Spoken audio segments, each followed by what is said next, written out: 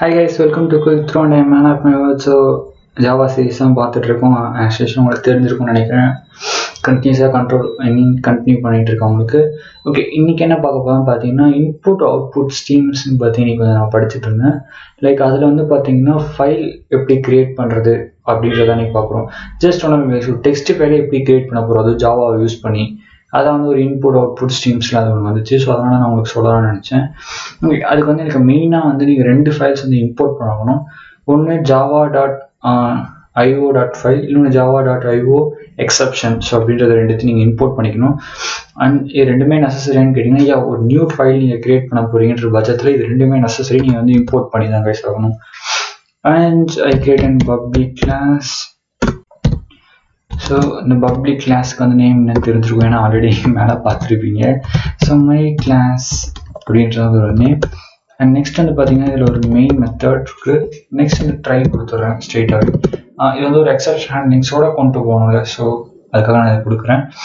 And next வந்து பார்த்தீங்கன்னா so இந்த ட்ரையில் என்ன சொல்கிறேன் அப்படின்னு கேட்டிங்கன்னா ஃபர்ஸ்ட் ஒரு நியூ ஃபைல் ஒன்று கிரியேட் ஸோ அந்த ஃபைல் இருக்குல்ல. ஸோ நியூ ஃபைல் கிரியேட் பண்ணுறதுக்கான ஜாவா ஃபைல் தான் நம்ம வந்து இம்போர்ட் பண்ணியிருக்கோம்ல. ஸோ அந்த அதை வந்து இங்கே நான் ரெஃபரன்ஸாக கொடுத்து ஒரு ஆப்ஜெக்ட் க்ரியேட் பண்ணுறேன் அண்ட் ஃபைல் அண்ட் இதுக்குள்ளே தான் நம்ம க்ரியேட் பண்ண போகிற அந்த ஃபைல் நேம் நான் கொடுத்தாகணும். ஸோ நான் என்ன கொடுக்குறேன் அப்படின்னு பார்த்தீங்கன்னா லைக் வந்து யா ஏ ஸ்டோர் அப்படின்னு கொடுத்து டாட் டிஎக்ஸ்டி அப்படின்னு கொடுத்துட்டு டெக்ஸ்ட் ஃபைலில் கொடுத்துக்கிறேன்.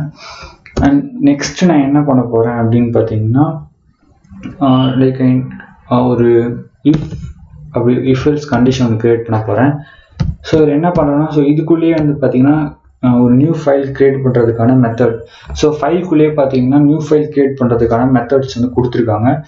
ஸோ அந்த மெத்தடோட நேம் என்னன்னு கேட்டிங்கன்னா create C R E T create new file அப்படின்றது தான் அதோட நேம் ஆக்சுவலாக அந்த மெத்தடோட நேம் ஸோ அதை கால் பண்ணாலே போதும் நியூ ஃபைல் கிரியேட் ஆகிடும் அண்ட் இது என்ன பண்ண போகுது அப்படின்னு கேட்டீங்கன்னா பூலியன் வேல்யூவை ரிட்டர்ன் பண்ணும் லைக் வந்து ஃபைல் கிரியேட் ஆகிடுச்சுன்னா கிரியேட்டட்னு வரும் ட்ரூன்னு வரும்.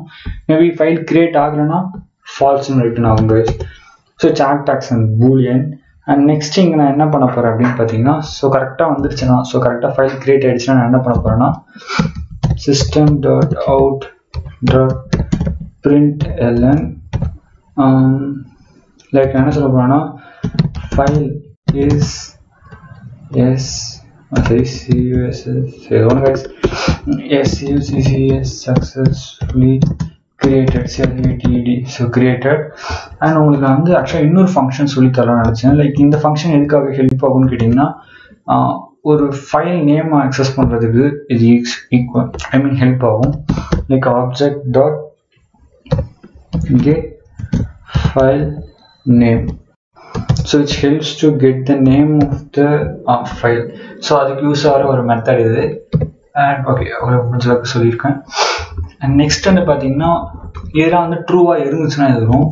மேபி சம்திங் எல்ஸ் ஏதோ சரியாக நடக்கலை அப்படின்னா என்ன அர்த்தம்னு கேட்டிங்கன்னா ஆல்ரெடி மேபி அந்த இடத்துல ஒரு ஃபைல் ஆஸ் டாட் டாட் டிஎக்ஸ்டி அப்படின்னு மேபி கிரியேட் ஆகிருந்ததுன்னா என்னால் இன்னொரு ஃபைல் அதே நேமில் க்ரியேட் பண்ண முடியாது ஸோ அதுக்காக என்ன பண்ணுறேன்னா again system dot out dot print ln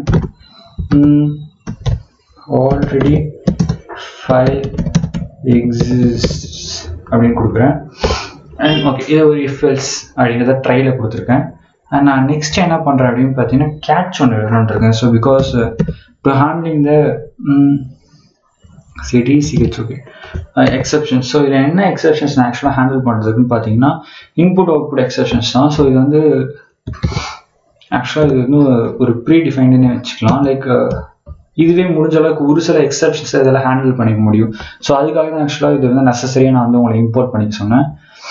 and இதுக்குள்ளே வந்துட்டு like system dot out dot print ln so இதுக்குள்ள என்ன தரேன் அப்படின்னு கேட்டிங்கன்னா லைக் சிம்பிளாக வந்து பார்த்தீங்கன்னா அண்ட் எரர் இஸ் அக்கர் அப்படின்னு சும்மா.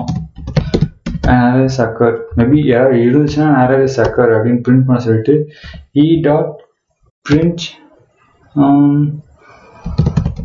print and stack S T A C K stack trace so trace பண்ணி சொல்லுங்க இது கொஞ்சம் உங்களுக்கு ஈஸியாக என்ன இடத்துல என்ன ஏறார் அப்படின்றத நீங்கள் கொஞ்சம் ஈஸியாக புரிஞ்சுக்கலாம். இது இருந்ததுன்னா ஸோ அதுக்காக தான் மிச்சபடி வேறு ஒன்றும் இல்லை ஸோ சக்ஸஸ்ஃபுல்லாக ப்ரோக்ராம் கிரியேட் பண்ணிட்டோம். ஸோ நான் இப்போ ரன் பண்ணுறேன் guys first we need to compile it so Java c my class dot Java yeah நீங்கள் கம்பைல் பண்ணுறேன் ஸோ எந்த ஒரு எரரும் இல்லையா ஸோ வந்துடுச்சு ஸோ என்ன எரர் அப்படின்னு பார்த்தீங்கன்னா object dot get file name was created successfully error cannot find the simple so அப்படின்னு இருக்கு.